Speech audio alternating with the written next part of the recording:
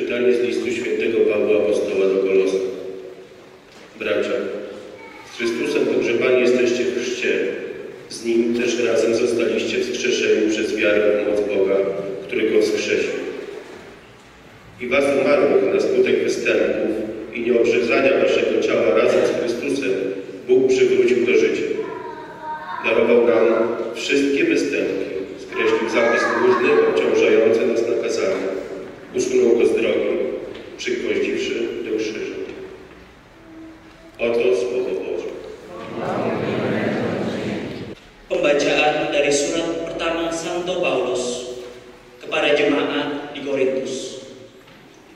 Saudara-saudara, Kristus telah dibangkitkan dari antara orang mati sebagai yang sulung dari antara orang-orang yang telah meninggal. Seperti maut datang karena satu orang manusia, demikian juga kebangkitan orang mati datang karena satu orang manusia.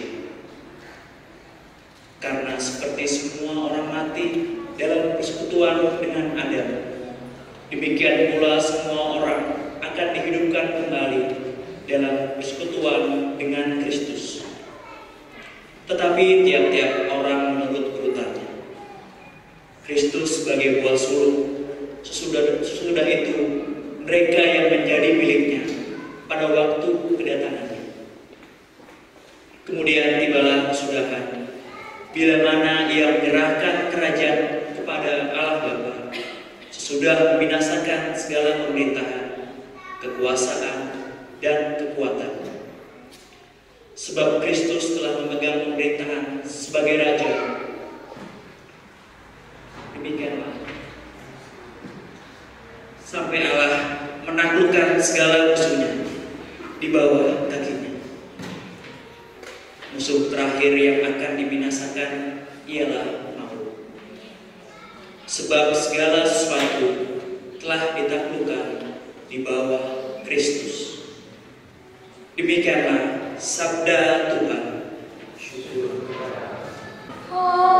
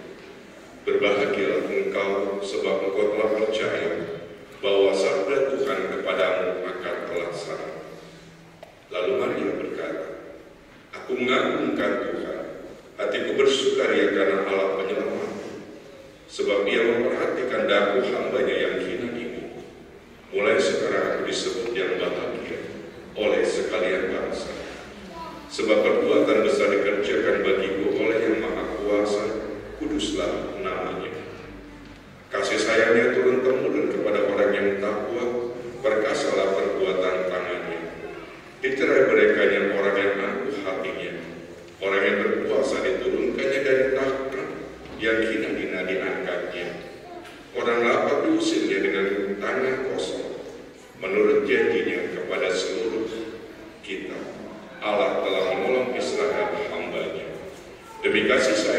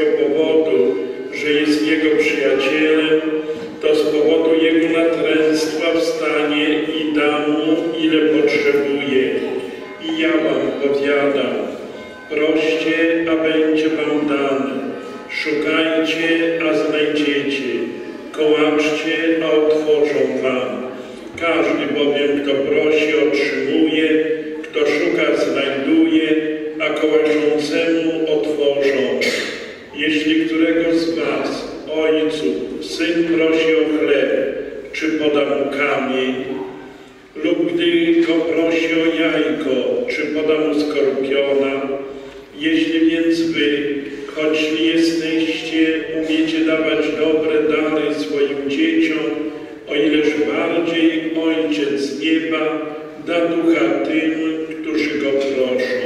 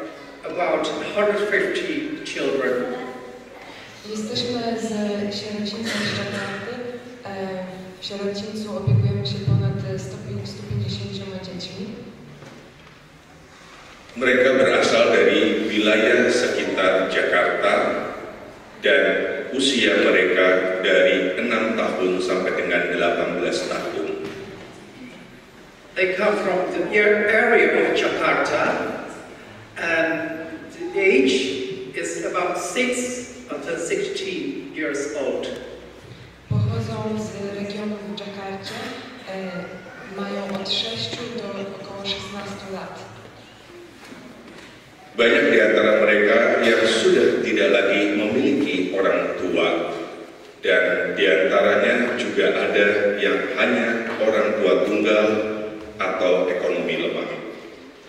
Some of them, they have no parents. Some of them have only mother, father, and some of them, because of economic reasons, that's why they are living in orphanage. Część z nich w ogóle nie posiada rodziców, a część z nich ma tylko mamę albo tatę, a część z nich z powodów ekonomicznych nie, nie przebywa teraz w sierocińcu, może być. Dan yang sekarang kami ajak adalah mereka yang memiliki kemampuan untuk memainkan alat musik kolintang. When you see uh, the children right here, is the children who capable to play the music, this instrument called Dzieci, które tutaj właśnie dzisiaj siedzą, to dzieci, które umieją bardzo dobrze grać na indonezyjskim instrumencie, który też tutaj widać, kolintang. Mereka telah tinggal di panti asuhan sekitar enam tahun atau ada yang lebih dari itu. They live there in orphanage about six years or maybe more than six years. Żyją już w sierocińcu świętego Wincentego od około 6 lat. Dan saat ini mereka ada di Polandia untuk mengikuti kegiatan World Youth Day dan mereka akan mengisi acara juga pada tanggal 28 Juli nanti. They are here in Poland. It, uh, it, uh, according to uh, the youth, uh, the World Youth uh, organization here in, in, in Poland, and they will uh, perform also uh, 28th of July 28 in Krakow. in Krakow. 28th July. Em, Jeden z koncertów, który odbędzie się w Polsce, odbędzie się w Krakowie podczas Światowych Dni Młodzieży 28 lipca. Itulah sekilas tentang mereka, anak-anak dari Panti Asuhan Vincentius Putra Jakarta milik Keuskupan Agung Jakarta. There is about a little story about the children from the orphanage from St. Vincentius in Jakarta, Indonesia. Jest taka krótka historia o dzieciach z sierocińca z świętego Wincentiusa em, w Dżakarcie. Saya perkenalkan nama-nama mereka. Yang paling depan dimulai dengan Rahul, We will you the name. This Raul,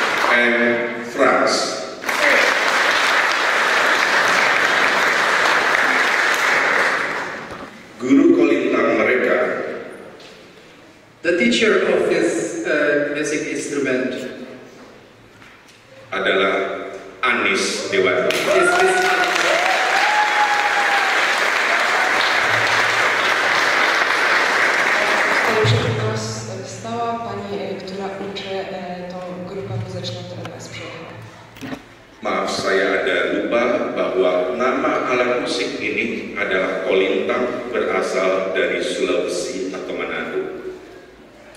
This uh, music instrument, I told you, kolintang, ori- its origin come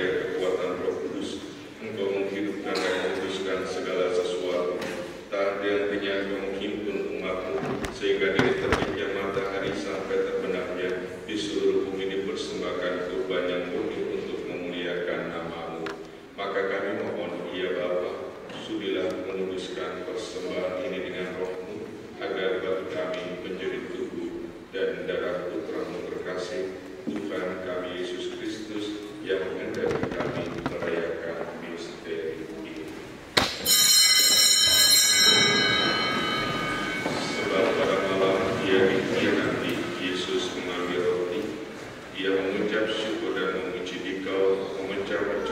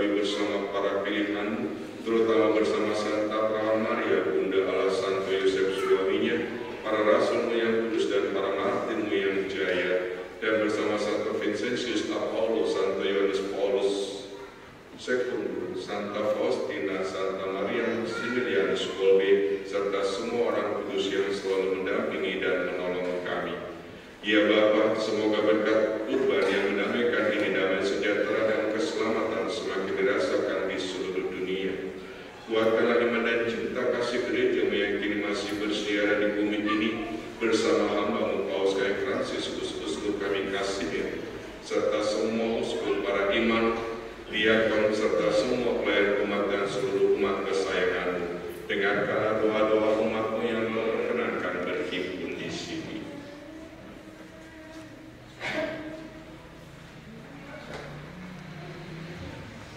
Demi kerahiman dan kasih setiamu ya Bapak